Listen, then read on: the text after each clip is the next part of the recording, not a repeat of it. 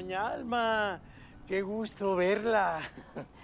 Ya tenía rato que no la veía. Veo que le ha funcionado muy bien la fisioterapia. De maravilla. Como le dije, aquí en la clínica geriátrica me tratan muy bien. Bueno, ahora me acompaña mi nieto Paco. Se vino a vivir conmigo. Yo no quería, pero mi hija insistió. Como debe de ser, abuelo. Ya no puedes estar solo como antes, así que yo te acompaño a tu fisioterapia. Veo que Lucía también la acompaña. Hola, Hola. Lucy. Hola. Hola, maestro Luis. No, maestro, al contrario. Soy yo la que la está acompañando ahora. Venimos aquí a la clínica de la maternidad para que la revisaran. ¿Estás esperando, bebé? Felicidades. Gracias, maestro Luis. Ma, ya vámonos porque quiero descansar. Maestro, me dio mucho gusto verlo y, y conocer a su nieto Paco. Hasta luego. Y salúdeme a su esposo. Eh, hasta luego, Lucy. Hasta luego. Hasta luego. Hasta luego. Luego. Paco. Adiós.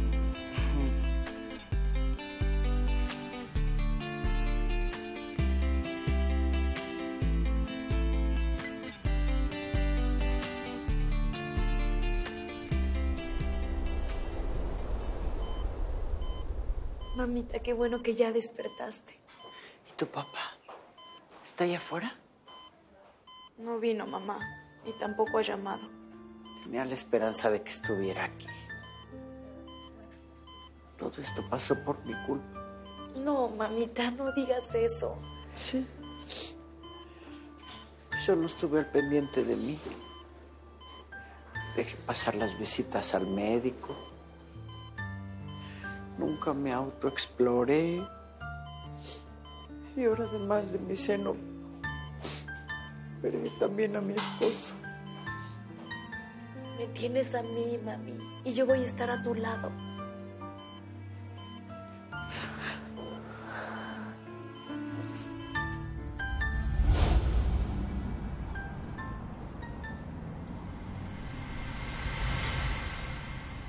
Hola, Lucy. Qué gusto verte. ¿Cómo está tu mamá? Pues ahí va, unas veces bien y otras no tanto. Después de su operación de seno le hicieron tres quimioterapias y ahorita está en revisión periódica hasta que la den de alta. Tu mamá es una guerrera. Ya verás que saldrá adelante. Oh, ¿Y cómo va tu embarazo? Bien, me acaban de hacer un ultrasonido y estoy muy emocionada de poder ver a mi bebé, ver cómo se forma dentro de mí. ¿Y por qué no viene tu esposo? Él también debería de participar en esta alegría. No sé qué vayas a pensar de mí, Paco, pero es que yo no tengo esposos, soy madre soltera. No, no tengo que pensar nada. Solo que eres una chica muy linda. Gracias, Paco. Pero bueno, ya me tengo que ir. Eh, oye, no quisiera que vayas a pensar que soy un aprovechado, pero me gustaría verte otro día. No tengo nada que pensar, porque sí me gustaría verte otro día.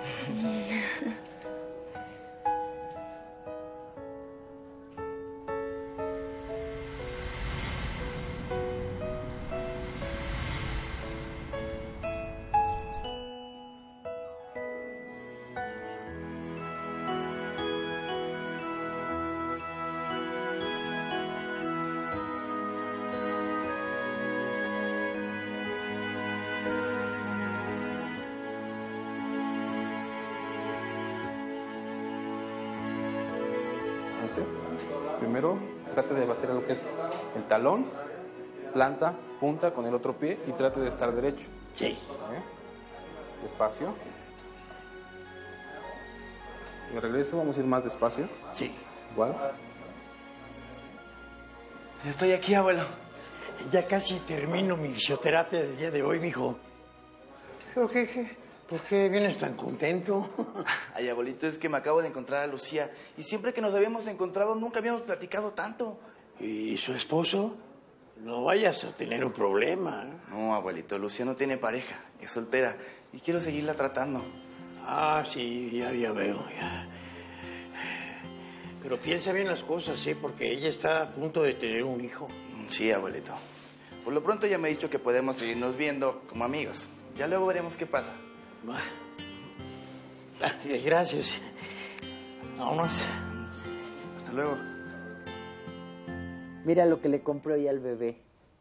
Pues no sabemos si es niña o niño, pero yo le compré los zapatitos azules porque siento que va a ser niño. ¿Lo presientes? Sí.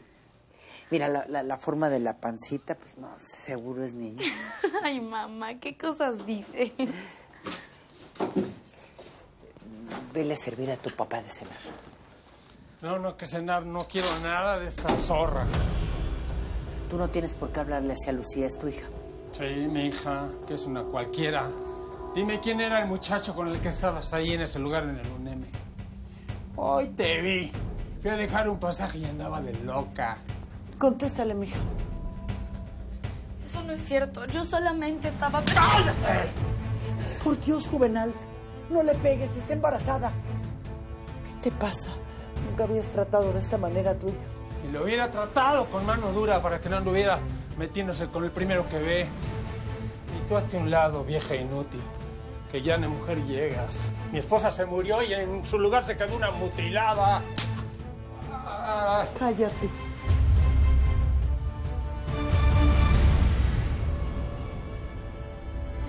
Lárgate, papá.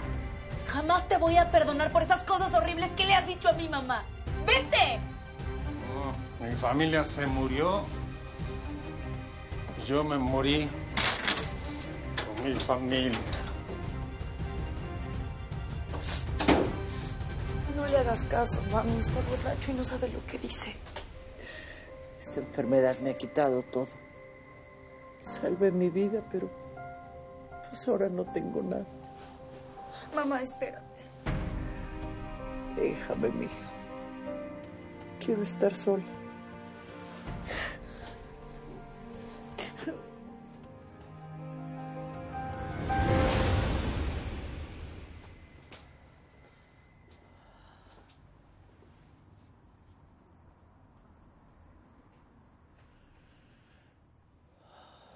Estoy mutilada.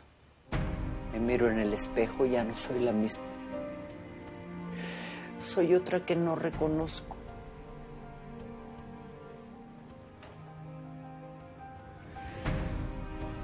Madre mía, no puedo con esto. Me siento atrapada en un cuerpo que no es el mío, en un cuerpo que no acepto. ¿Por qué tuve que pasar por todo esto? Ahora soy los pedazos que quedaron de una mujer.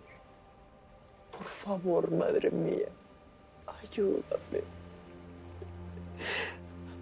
Ayúdame, quítame este dolor asfixiante, esta impotencia que siento para que pueda aceptarme y empezar a quererme. Que recupere a mi familia. Que Juvenal se dé cuenta que una mujer no es solo mujer por un par de senos una mujer vale por lo que lleva dentro de su corazón, por su tesón, por su valor al enfrentar la lucha diaria. Que vea el valor de una vida.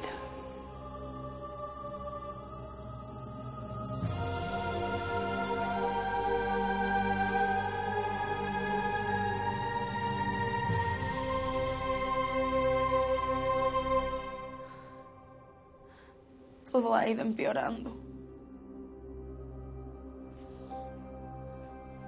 Ay, virgencita. ¿Y esta rosa? ¿No estaba aquí antes o sí? ¿Quién sabe? Pero al verla me da esperanza. Me hace sentir que todo irá bien. La voy a poner en agua.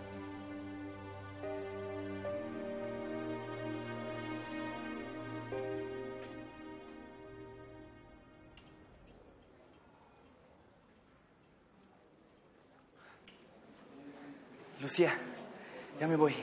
Ya terminó la terapia de mi abuelito, pero no quería irme sin antes darte esto para el bebé. Gracias, Paco. Ay, eres un lindo. Va a ser el juguete favorito del bebé, te lo aseguro. Gracias, Paco, pero no puedo aceptarlo. ¿Por qué? Es que mi papá nos vio ayer cuando estábamos en la entrada. Pensó mal y regresó tomado a la casa. No quiero tener problemas, Paco, por eso no puedo aceptarlo. Pobre muchacha. Y pobre doña Alma.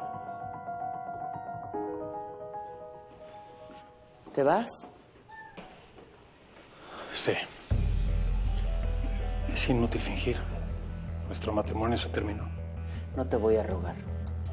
Pero espero que un día te des cuenta que fue un error no haberme apoyado a mí y a tu hija. Adiós, juvenil. Adiós, Alma.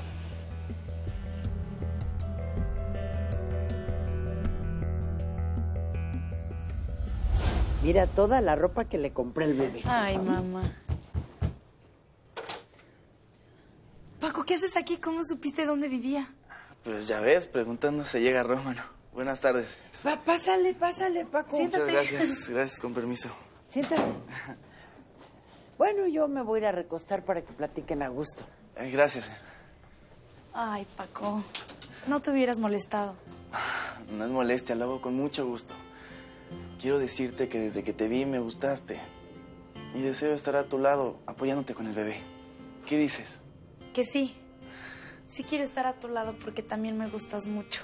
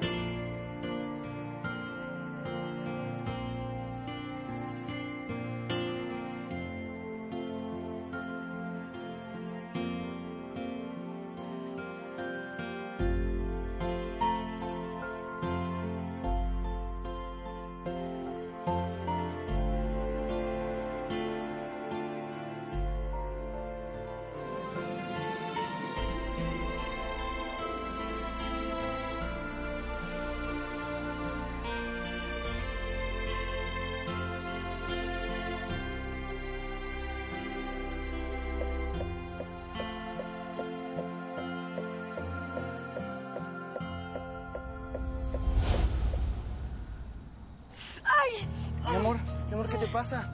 No me digas que ya viene mi hijo en camino. Ay, vamos a la clínica, ¿eh? Ahorita le marco a tu mamá y a mi abuelo para que nos alcancen ahí. Tranquila, mi amor. Tranquila, tranquila. Respira, respira, tranquila. Señora Almadelia, su hija Lucía tiene presión muy alta. Hay que estabilizarla porque puede sufrir preeclampsia y morir. No, por favor. Salve a mi hija, doctor. Ella no se puede morir, por favor. ¿Cómo te llamas? Lucía. Ok, Lucía. Doctora, activamos código Mater. Tranquila, Lucía. ¿Cuántas veces te has embarazado? Enfermera, llévesela de aquí, por favor. Esto es una emergencia. ¿Qué está pasando, Dios mío? Va a entrar a quirófano. Se trata de femenino, 17 años, embarazo de término. Refiere que tuvo sangrado, dolor de cabeza. Checamos signos vitales, por favor. Gracias. Pues ya se tardaron. Tranquilo, hijo. Ya traerán noticias de Lucía. Yo solo le pido a la Virgencita de Guadalupe que me cuide a mi hija y a mi nieto, pues para que todo salga con bien. Qué bueno que aquí estén preparados para una emergencia. Mi hija a punto de morir y mi marido ni sus luces. Le mandé un mensaje, pero pues no ha respondido.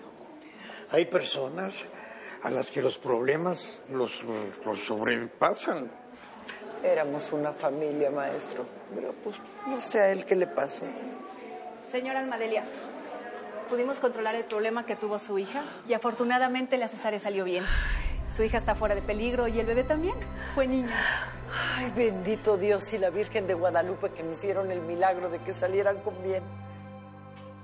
Felicidades. ¿Podemos pasar a verlos? Sí, en un momento porque están valorando al bebé.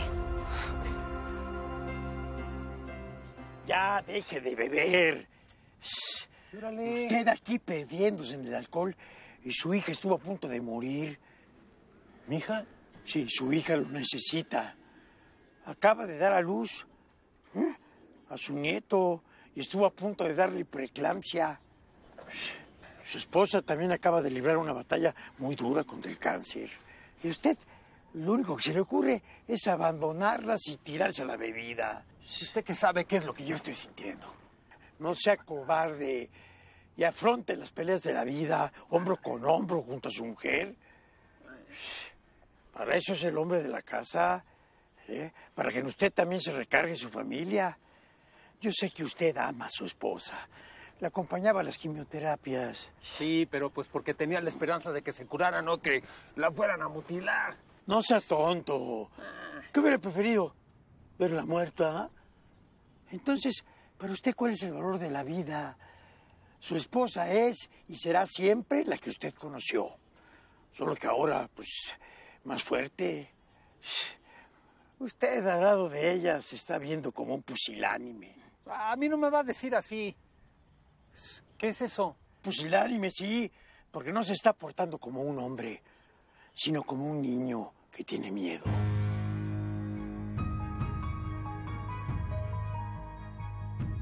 Ay, mi nieto está precioso. Es un angelito de Dios. Y yo le traigo un regalo a este pequeño. Abuelo, ¿dónde te habías metido y qué regalo le traes? Vengo a pedirles perdón. Perdóname, mi amor, soy un estúpido. No supe reaccionar ante lo que estaba pasando. Pues me vi rebasado por los problemas y me tiré al alcohol, me tiré a matar. Y lo peor es que te abandoné. Fui cruel contigo. Pero tú nunca dejaste de ser la mujer valiosa, luchona y buena que eres. Tu operación no te hace menos, mi amor. Al contrario, te hizo más fuerte. Yo agradezco a la Virgen por tu vida. También a ti, hijita, te abandoné. Dije cosas muy feas, mi amor. Perdónenme, perdónenme, por favor. Si me dan otra oportunidad, pasaré la vida compensándoselos. Sí, Juvenal. Te perdono. Yo también te perdono, papá. Tres pasamos un momento muy difícil en donde no supimos cómo reaccionar. Tuvimos que pasar por muchas cosas, hija, para saber el valor de una vida.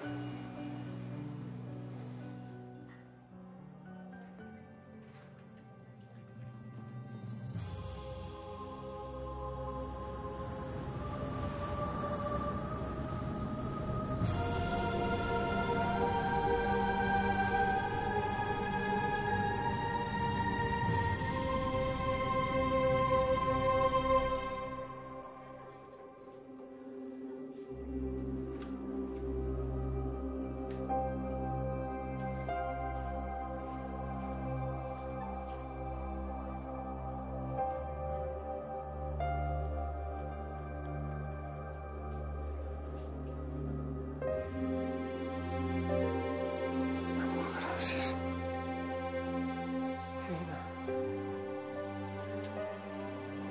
Es un besito. Es hombrecito. Es el que me faltaba.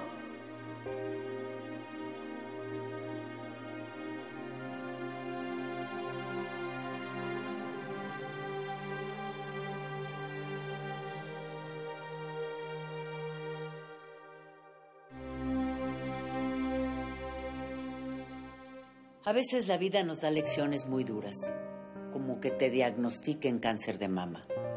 Tu vida cambia, tu familia y toda tu rutina. Para eso no estamos preparadas y por eso debes tener apoyo psicológico para afrontar todos esos cambios. También fomentemos la cultura de la prevención. No debes posponer nunca tus visitas al médico. Autoexplórate. Ese es el principio de la prevención. Vigila que no tengas ninguna anomalía en tus senos. Si no tienes dinero para una consulta o para realizar tus estudios de mastografía o ultrasonido mamario, hay instituciones como donde yo me atendí. En el gobierno del Estado de México nos dan ese servicio de manera gratuita, como es la unidad de especialidades médicas de detección y diagnóstico del cáncer de mama, UNEM Dedicam. Apóyate con tu familia, con tus hijos. A los esposos, por favor no rechacen a sus mujeres. Están luchando para salvar su vida. Están librando una batalla muy dolorosa, traumática y difícil que nos enseña el valor de la vida.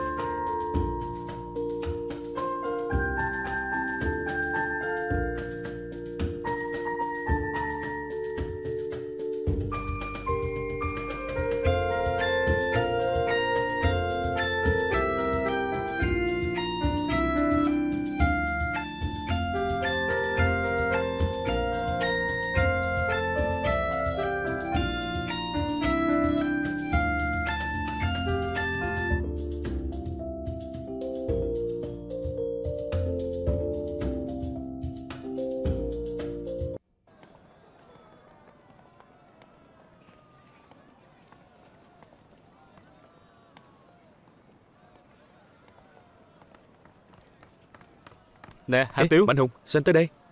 À, tôi có vài chuyện nghĩ hoài không hiểu, muốn tìm cậu hỏi. Bàn bạc chuyện gì? Bàn về Mai á. Mike. Ê, được rồi, được rồi. Tôi biết được, ông ta là người tốt. Nếu như anh cho là như vậy, thì tôi sẽ không nói nhiều nữa. Có lẽ ông ấy thực sự là người tốt. Tôi không có nói chuyện này. Hôm nay Mai nói với tôi, không cần bảo vệ anh nữa kìa. Hả? Tại sao vậy? Ông ta nói anh có thể tự lo cho mình, không cần tôi phải nhọc tâm. Còn luôn miệng nói là bảo vệ sự an toàn của tôi. Nhưng mà trước đó cậu xém chút bị bọn người của Trương